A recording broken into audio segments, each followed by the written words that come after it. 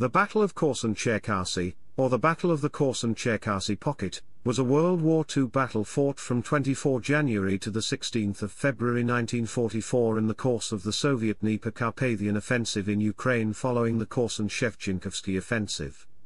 In the battle, the 1st and 2nd Ukrainian fronts, commanded, respectively, by Nikolai Vatutin and Ivan Konev, encircled German forces of Army Group South in a pocket near the Dnieper River. During weeks of fighting, the two Red Army fronts tried to eradicate the pocket. The encircled German units attempted a breakout in coordination with a relief attempt by other German forces, resulting in heavy casualties, estimates of which vary. The Soviet victory in the Korsun-Shevchenkovsky offensive marked the successful implementation of Soviet deep operations. Soviet deep battle doctrine envisaged the breaking of the enemy's forward defenses to allow fresh operational reserves to exploit the breakthrough by driving into the strategic depth of the enemy front. The arrival of large numbers of American and British-built trucks and half-tracks gave the Soviet forces much greater mobility than they had had before. This, coupled with the Soviet capacity to hold large formations in reserve gave the Red Army the ability to drive deep behind German defenses again and again. Though the Soviet operation at Korsun did not result in the collapse in the German front that the Soviet command had hoped for, it marked a significant deterioration in the strength available to the German army on that front, especially in heavy weaponry, nearly all of which was lost during the breakout. Through the rest of the war the Red Army would place large German forces in jeopardy, while the Germans were stretched thin and constantly attempting to extract themselves from one crisis to the next.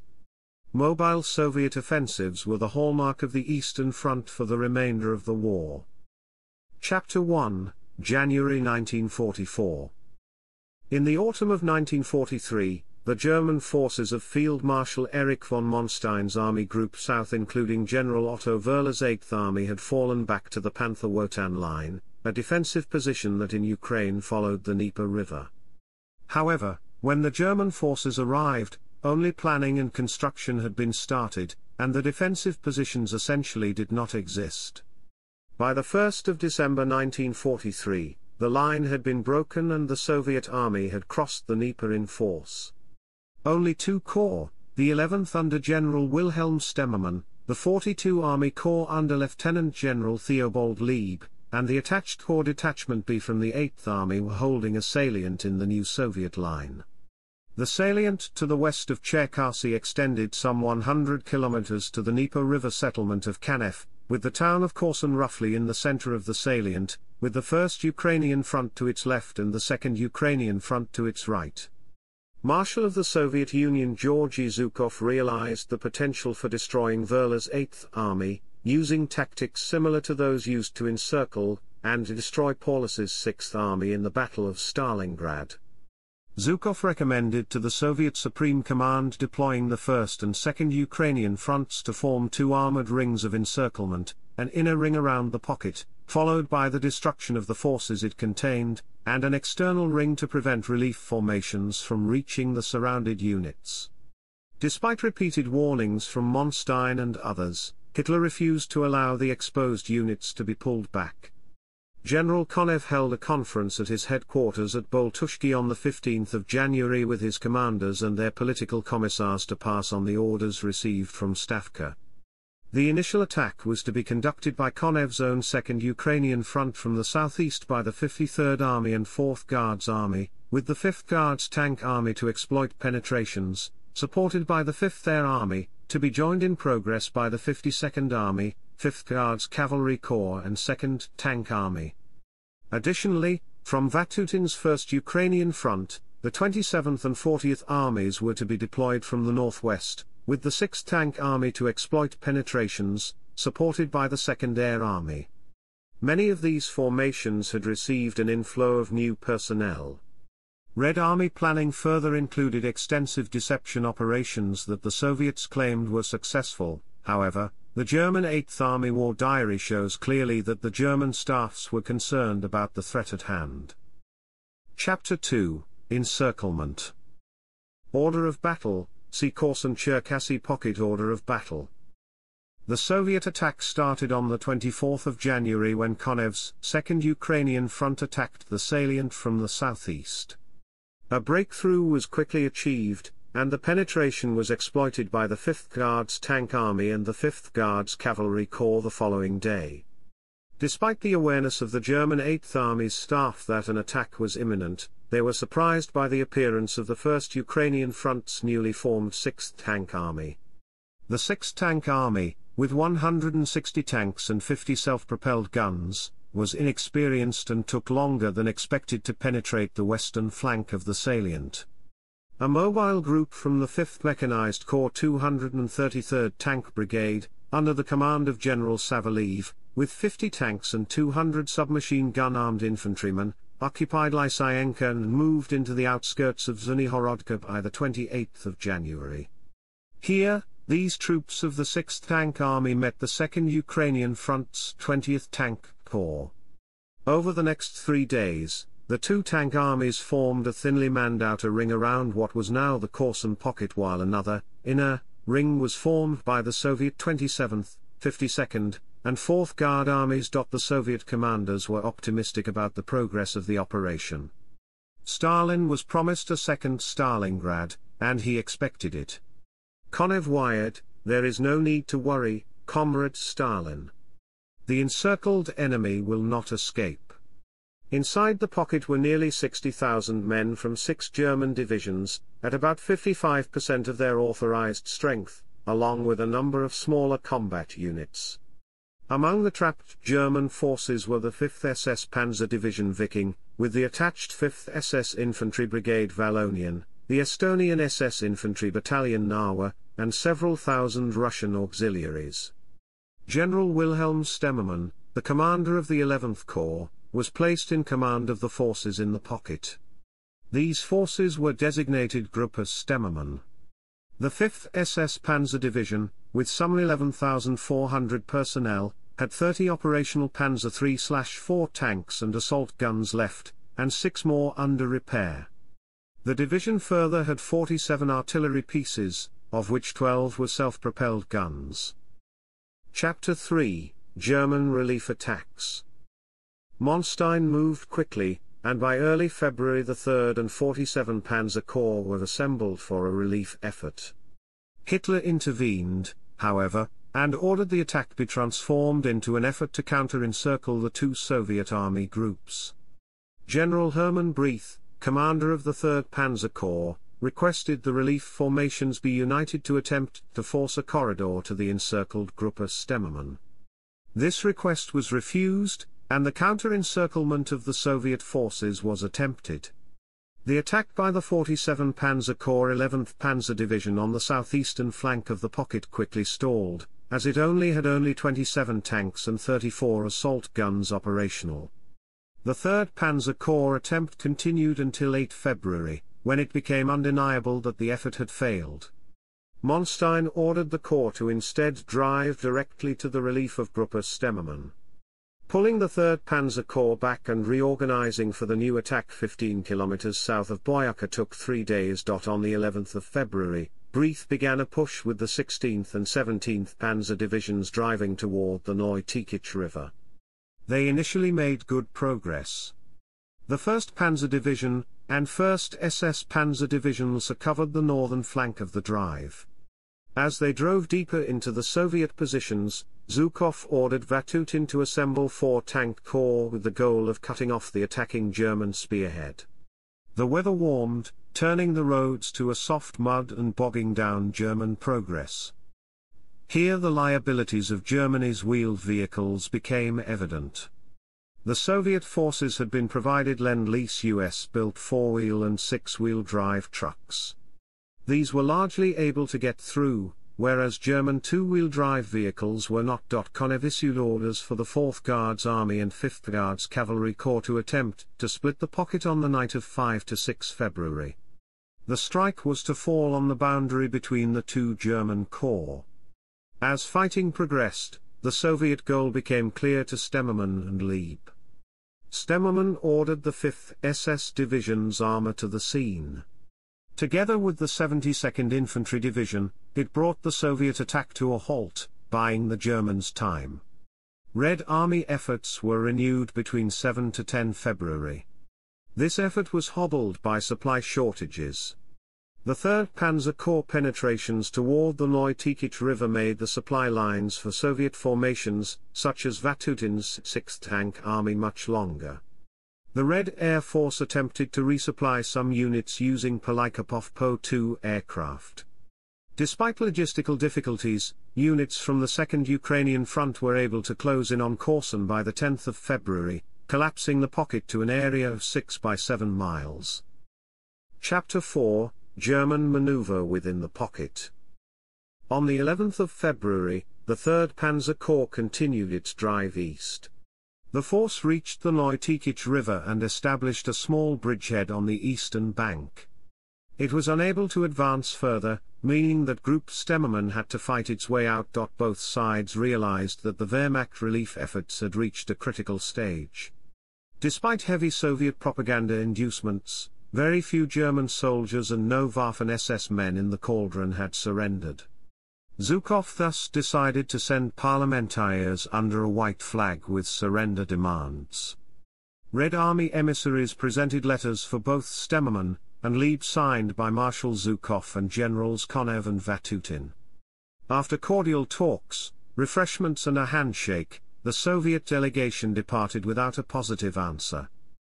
The German Air Force mounted an aerial resupply operation to both the encircled forces and the German relief columns.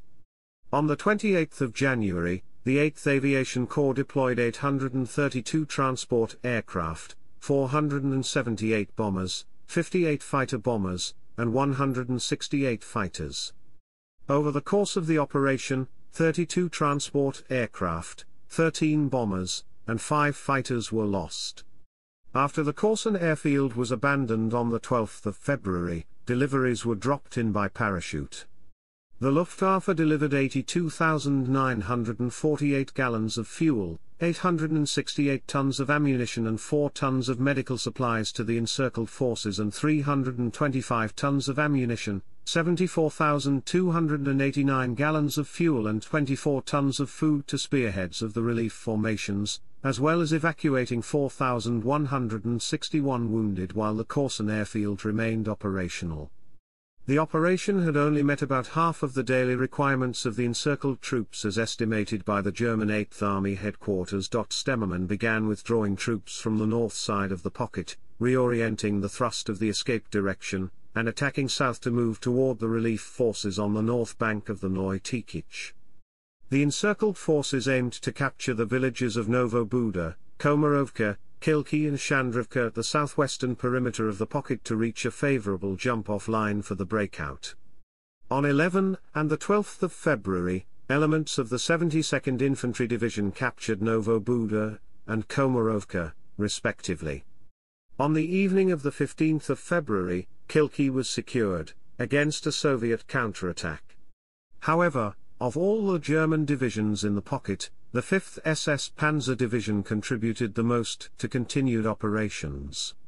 Since the SS Division Viking was the only truly mobile force inside the pocket, the division's tracked units were repeatedly shifted from one end of the pocket to the other to shore up crumbling lines. The pocket had wandered south and halfway toward the relief force and rested on the village of Shandrovka.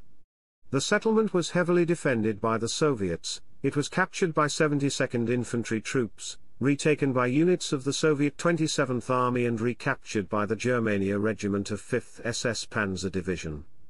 By nightfall on the 16th of February, the 3rd Panzer Corps fought its way closer to the encircled formations, with spearheads now 7 kilometers from Group Stemmermann. Chapter 5 Breakout Attempt the northward thrust toward the pocket by the 3rd Panzer Corps had been halted by Red Army determination, terrain and fuel shortages. After several failed attempts by German armored formations to seize and hold Hill 239 and advance on Shandrovka, Soviet counterattacks by the 5th Guards Tank Army forced the 3rd Panzer Corps into costly defensive fighting. The 8th Army radioed Stemmermann, capacity for action by 3 Panzer Corps limited by weather and supply situation. Gruppe Stemmermann must perform breakthrough as far as the line Dzhurzhentsy Hill 239 by its own effort. Their link up with 3 Panzer Corps. The message did not specify that Dzhurzhentsy and the hill were still firmly in Soviet hands, a failure that caused Group Stemmermann severe casualties during the German breakout of the pocket. General Lieutenant Lieb was appointed by the 8th Army to lead the breakout.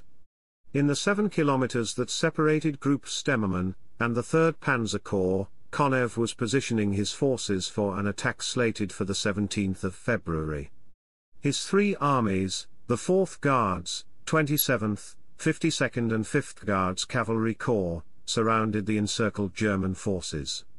The Red Army force also included elements of the 5th Guards Tank Army, with its armor placed in the area that separated Group Stemmermann and the 3rd Panzer Corps. Stemmermann elected to stay behind with a rear guard of 6,500 men, the remaining combined strength of the 57th and 88th Infantry Divisions.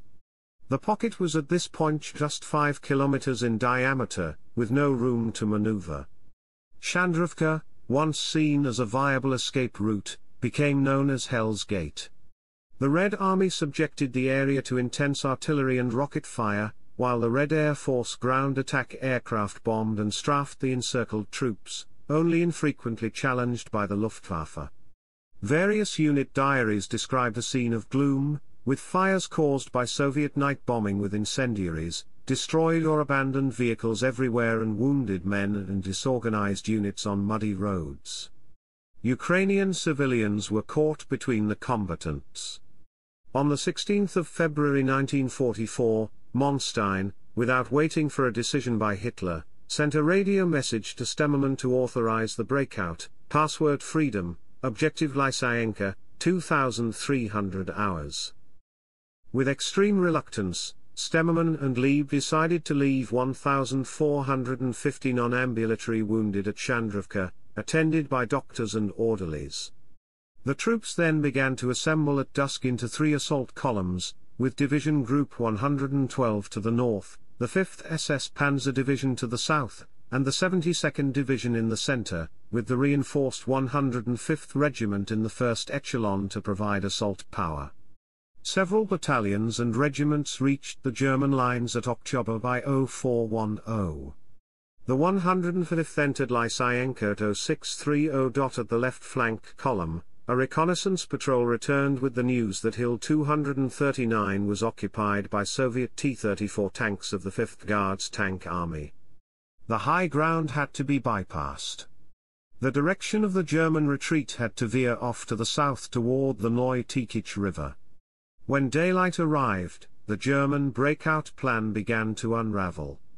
Very few armored vehicles and other heavy equipment could climb the slippery, thawing hillsides and the weapons had to be destroyed and abandoned. General Konev, now aware of the German breakout, resolved to keep his promise to Stalin not to let the German forces escape. Soviet intelligence, however, at this stage vastly overestimated the armored strength of the 3rd Panzer Corps, and Konev therefore proceeded in force. At this time, the 20th Tank Corps brought its brigade of the new Joseph Stalin IIs to the Korsun battlefield. Konev ordered all available armor and artillery to attack the escaping units, cut them into isolated groups and then destroy them piecemeal. The two blocking Soviet rifle divisions, the 206th Rifle and 5th Guards Airborne, had been smashed by the German assault forces, without infantry support Soviet tanks then fired into the German formations from a distance. With no anti-tank weapons in the field, T-34s commenced to wade into support troops, headquarters units, stragglers and Red Cross identified medical columns. Under the yellow sky of early morning and over ground covered with wet snow Soviet tanks made straight for the thick of the column, plowing up and down, killing and crushing with their tracks. Almost simultaneously massed Cossack cavalry wheeled away from the tanks to hunt down and massacre men fleeing for the refuge of the hills, hands held high in surrender the Cossacks sliced off with their sabers. The killing in this human hunt went on for several hours and a new round opened on the banks of the river Noy Tikich, where the survivors of the first collision of the German column with Soviet troops dragged and fought their way. By midday, the majority of the now intermingled divisions had reached the Neutikich stream, 15 meter wide and 2 meters deep due to melting snow. Despite the fact that the 1st Panzer Division had captured a bridge and engineers had erected another, the panicking men saw the river as their only escape. Since the main body was away and south of the bridgeheads, the last tanks, trucks and wagons were driven into the water, trees were felled to form makeshift bridges and the troops floundered across, with hundreds of men drowning, being swept downstream with horses and military debris. Many others succumbed to shock or hypothermia. Toward the end phase of the breakout, engineers had built several more bridges and rearguard units of the 57th and 88th Infantry Divisions crossed the river dry, including 20 horse-drawn wagons with about 600 wounded. That many escaped back to the German lines at Lysyanka was due in great measure to the exertions of the 3rd Panzer Corps as it drove in relief of Group Stemmermann. The unit was equipped with Tigers and Panthers and an engineer battalion with specialist bridging skills. Chapter 6 Outcome The Red Army encirclement of Cherkasy Korsun inflicted serious damage on six German divisions, including the 5th SS Panzer Division. Though most of the trapped men escaped, they had to leave nearly all of their heavy equipment behind. These units had to be withdrawn for rest and near complete re-equipping. The escaped wounded were transported from collection points near Uman to rehabilitation areas and hospitals in Poland, and were then sent on leave to their hometowns. In a U.S. Army brief written following the war, Lieb commented that when he assumed command of Force Stemmermann, the 72nd and Viking divisions were completely intermingled. No longer did they have any tanks, artillery, vehicles or rations. Many soldiers were entirely without weapons, quite a few even without footgear. Neither division could be considered in any way able to fight. One regiment of Task Force B was intact and still had some artillery support. However, this regiment also had no vehicles and no rations left. All wounded, estimated at about 2,000, were evacuated by air. He also stated, for lack of vehicles and fuel, 3 Panzer Corps was unable to reinforce its units in the area of Lysyanka and Oktyabr. Had no extra supplies of any kind, and his forward elements were unable to provide rations for the troops emerging from the pocket. With German armored reserves drawn to the Korsun pocket, the Soviets struck Army Group South in two other sectors. The 13th and 60th Armies advanced south of the Pripyat marshes, capturing the remnants of the German 13 Corps at the Battle of Rovno and advancing to Lutsk. To the south, the 3rd and 4th Ukrainian fronts attacked along the bend of Dnieper River, capturing Kryvyi Rih. General Stemmermann was killed during the breakout when his command car was hit by a Soviet anti-tank gun. General Lieb survived the war.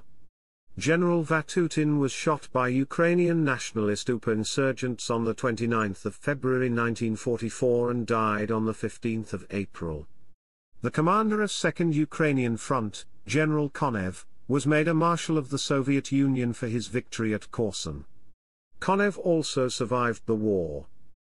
Chapter 7 Assessment the battle around Korsun was a major Soviet victory that enabled later advances the next spring into Romania. An entire German army became trapped, and as the pocket collapsed the forces inside were forced to retreat through gaps in the Soviet forces surrounding them, resulting in significant losses in men and tremendous losses in equipment. Hitler's insistence on holding the exposed salient strongly limited the options of German field commanders. Once the Soviets had encircled the German forces, relief efforts produced mixed results. The effectiveness of the German counterattack was limited by Hitler's plan for splitting his strength to attempt a counter-envelopment. The 47 Panzer Corps attacks were ineffective due to the weakness of its divisions. Though the 3rd Panzer Corps was far more effective, the Corps wasted a week on a failed attempt to encircle the Soviet forces. When it was finally given the mission of relieving Gruppe Stemmermann, the Germans were unable to provide Bake's heavy tank regiment with adequate fuel supplies, leading Bake to stop his advance on Hill 239 because one group of his tanks had run out of fuel. This logistical failure was compounded by the vagueness of the radio message to General Stemmermann, ordering the breakout attempt. Hill 239 remained under Soviet control, resulting in significant casualties among Stemmermann's retreating force. The Soviet performance was also beset by errors. Soviet intelligence on German forces in the pocket was faulty in overestimating their strength. At the same time, the Soviets underestimated German capability for a counterattack and hurriedly moved more forces forward to bolster the strength of their encircling rings. The Soviet Air Force was unable to significantly hinder the German aerial resupply effort. Ultimately, the encircling forces were unable to prevent a German breakout, allowing a significant portion of the trapped Germans to escape. Given the initial circumstances of the battle, the degree of Soviet losses makes it clear that while the Soviets won at Korsun, it was a victory that came at a high price. Soviet sources and testimonials from the front line assert that the total loss in German men was catastrophic, with estimates collected from mass graves and the battlefield accounting for roughly 55,000 dead and 18,000 German prisoners from the encircled formations alone. German sources differ on total losses, holding that of the 60,000 men originally inside the pocket, the number had shrunk to less than 50,000 by the 16th of February. 45,000 of these took part in the breakout, resulting in 27,703 German soldiers and 1,063 Russian auxiliaries breaking out unscathed. Total casualties killed, wounded or missing, were claimed at 31,000, yet these numbers do not count losses from the rescuing forces. German official documents listed total escapees as 40,423, including the wounded flown out of the pocket and evacuated from Lysyanka. While there were claims that roughly two out of three encircled men succeeding in escaping the pocket, almost one third of their men dead or wounded. Soviet sources tally losses of 80,188 casualties for the First and Second Ukrainian fronts, with 24,286 killed and missing, and 55,902 wounded. These losses were incurred over the period of 24 January, the 17th of February 1944 during both the encirclements and the breakout attempts. Chapter 8 Use in Propaganda Both sides hailed the events at Korsun as a victory.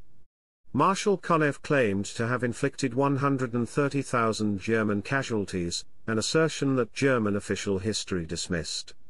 Soviet historian Sergei Smirnov described the victory at Korsun as a Stalingrad on the Dnieper, and the victory was hailed as a culmination of Soviet armored strength against the ailing Wehrmacht.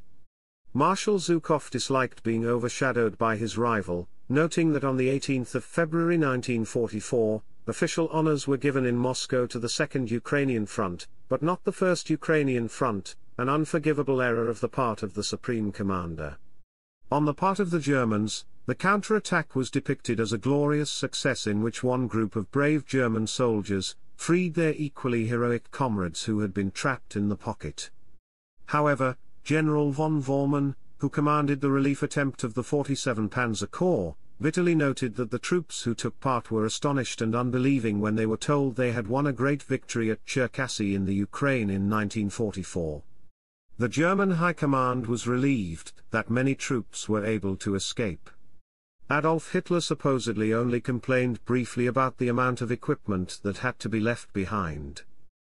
Chapter 9 Historiography one of the initial historiographical works on the fighting at Korsun was a 1952 U.S. Army publication, DA Pamphlet 20-234, Operations of Encircled Forces, German Experiences in Russia. This work was written in the context of NATO's Cold War confrontation with the Soviet Union, and the authors highlighted the historical experience of the Wehrmacht which might prove useful to NATO forces had a war between the Soviet Union and the NATO countries broken out. Like most of the English language works on the Eastern Front of this era, it was written from the German point of view and without the benefit of wartime records. John Erickson's 1983 The Road to Berlin and David Glantz's 1995 When Titans Clashed covered events on the entire Eastern Front from a German and Soviet perspective, and devoted several pages to the fighting in the Korsun pocket. Erickson did not question Soviet claims regarding German casualties, and Glantz questioned the veracity of German claims regarding the total of escapees from the pocket. Glantz has also translated the Soviet General Staff study on the Korsun operation into English as The Battle for the Ukraine, the Red Army's Korsun-Shevchenkovsky operation, 1944. More recently, the 2002 work by U.S. Army historian Douglas Nash, Hell's Gate, The Battle of the Cherkasy Pocket, January to February 1944, took issue with Soviet claims that Korsun was another Stalingrad. Similarly, the Swedish historians Niklas Zetterling and Anders Frankson disputed the assertions of the Soviet General Staff study of the Korsun operation in their 2008 work, The Korsun Pocket.